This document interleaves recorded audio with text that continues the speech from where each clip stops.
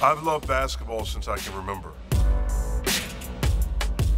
I've been around it my whole life. My, my father was a coach. For as long as I can remember, I've always been in locker rooms and I've always been a part of a team. I think that's the main reason I love it. You get a chance to be a part of a team. Black, black, black, black, black. There you go, get back. I don't think there's any bigger joy than being a part of something bigger than you. And understanding what that means, you know, the responsibility, the sacrifice.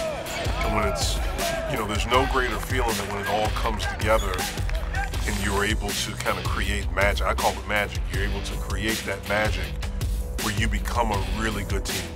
We hit the floor, slide, boom, close out, stop.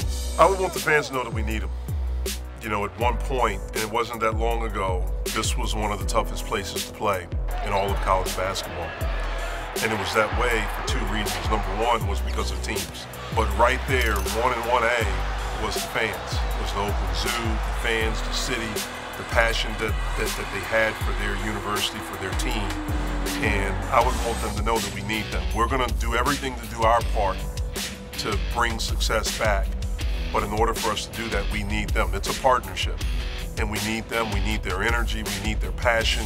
We need their support. And we need it every day. Just like we're going to show up, we need them to show up. Gowan You know, I'm looking forward to watching this team get better and seeing them realize that they're getting better.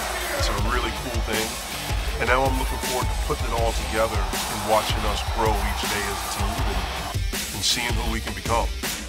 One right there. Let's go right here.